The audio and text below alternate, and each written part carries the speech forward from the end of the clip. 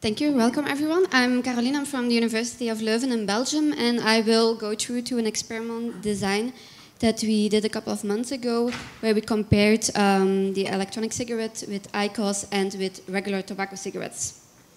So first, my conflict of interest. We did not receive any funding. Um, we also do not have um, any ties with any kind of industry. And my PhD research focuses on um, tobacco harm reduction in general, but also uh, e-cigarette-based tobacco harm reduction in particular. So first I will start with some background. Um, as you all know, um, smoking tobacco cigarettes is one of the leading causes of premature deaths worldwide. And we see that in the European Union, um, since 2014, the prevalence of smokers remains stable. It's around 26%. Of course, between countries there is a difference. Um, although there are several actions to try to reduce this number of smokers, um, it remains that the, the, percentage remains stable.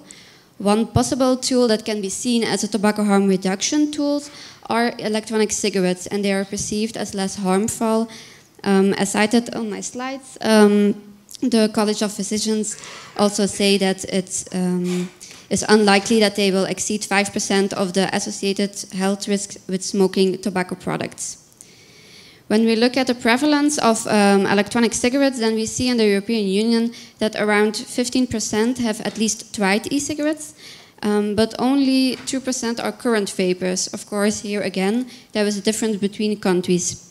Um, so the uptake remains relatively low, although it can be seen as a um, tobacco harm reduction tool. A possible explanation for this um, low uptake can be seen in uh, one study that not all smokers benefit from this product. So uh, the study has uh, been done with confirmed smokers, and they saw that 59% have ever tried e-cigarettes, but elements that they don't like about it are the vaping experience, the technology, um, for example, the chemical nature of these liquids. In addition to this, um, the tobacco industry developed recently uh, alternative reduced risk products like the tobacco heating systems. Um, for example, in the study that we use is the IQOS.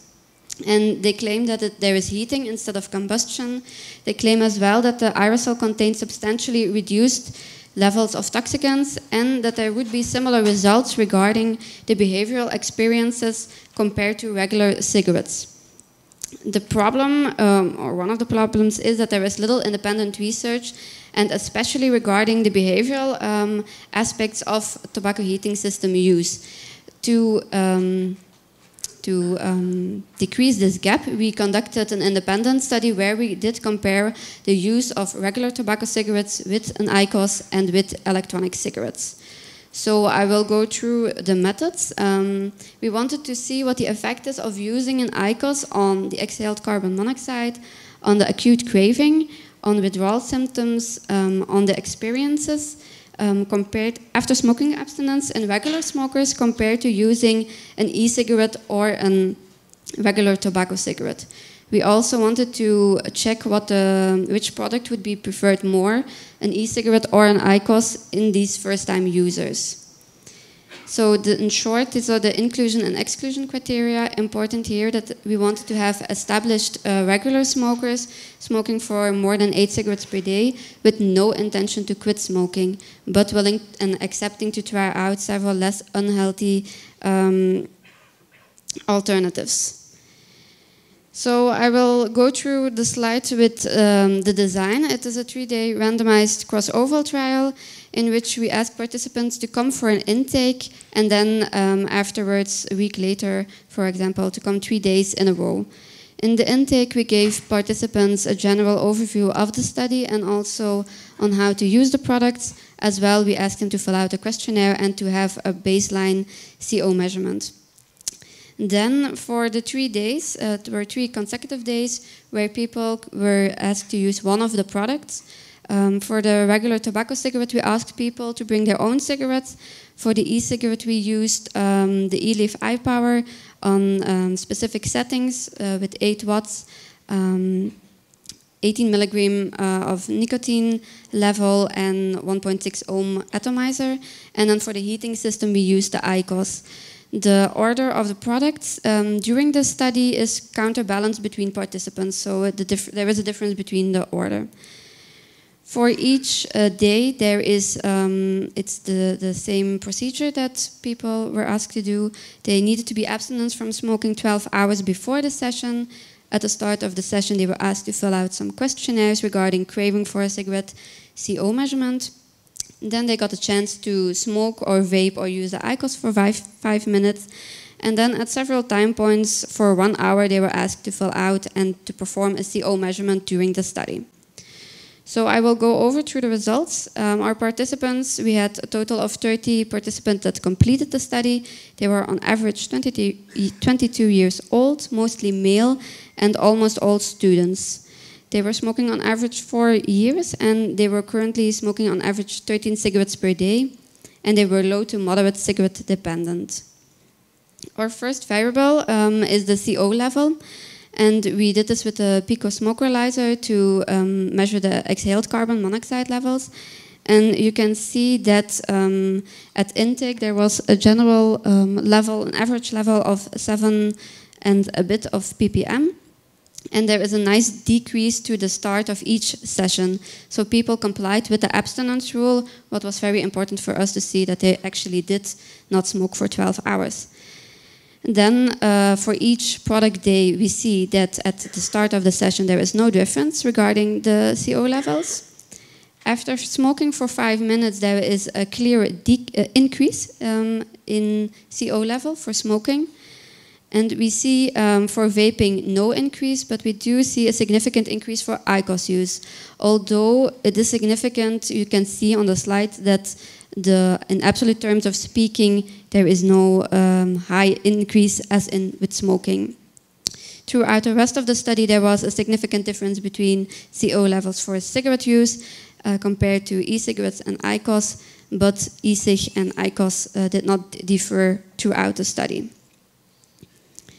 Then we also assessed uh, with one single item a visible analog scale, going from one totally no craving to 100 completely craving for a cigarette, um, how this developed. People came in with around almost um, 70 uh, craving um, when they came to the lab, and um, they um, this is the same for each day. So for each day, there is, the, there is no difference between the days. We see that for each um, product, there is a significant decrease in um, craving after using the product for five minutes. As important here is that the cra craving reduction for smoking is much larger than for using an e-cigarette or using an IQOS. So you can see after the five minutes of using the product, there is a significant difference between uh, smoking and the other two products throughout the study, there is no difference um, between an e-cigarette and IQOS regarding um, craving, so they have the same line, but there is a the difference between um, cigarette and e-cig and IQOS keeps uh, remaining throughout the um, days. We also did uh, assess with a questionnaire, a craving um, questionnaire, and we, we did found the same results. We also asked people uh, regarding product evaluation. We used a modified cigarette evaluation questionnaire, which we um, adjusted for each product uh, to see how they evaluate the product. And what we see here is that, for example, for the subscale of smoking satisfaction, would include if the product is satisfying, if it tastes good, if it's an, uh, enjoyed the smoking, the vaping, or using the IQOS, that the cigarette does best. And there is a, a, a great difference between an IQOS and an e-cig. So um, the cigarette was um, preferred most satisfaction, followed by IQOS, followed by e-cig. More or less the same we see for psychological reward, and uh, for aversion we see this includes dizziness and nausea. That for IQOS there is the less aversion um, experienced, and for cigarette use the most aversion, although the numbers are relatively low. Then regarding um, enjoyment, um, on the bottom of the slide we see that cigarette is perceived as um, highest um, enjoyment, uh, followed by IQOS and e-cig um, as the less enjoyment. Craving reduction is the same as I um, just discussed with my previous slide.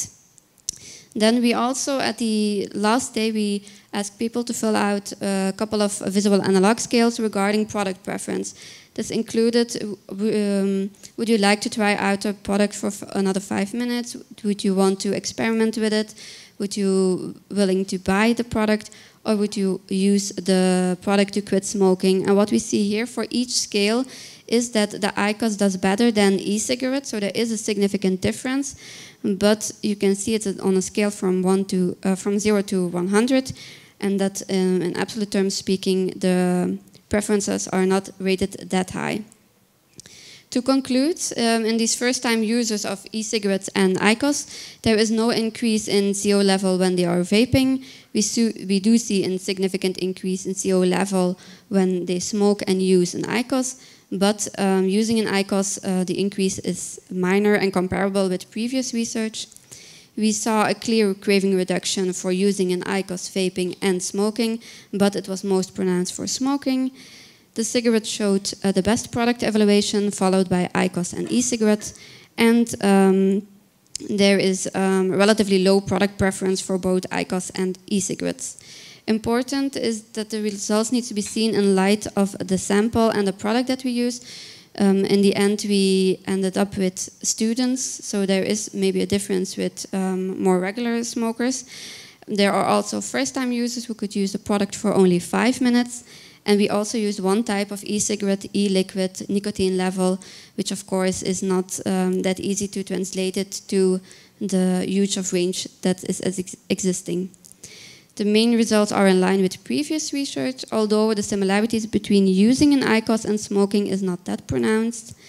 And we think that it's important that there are more long-term studies that um, investigate the behavioral and psychological psychological effects of long-time IQOS use compared to smoking and vaping.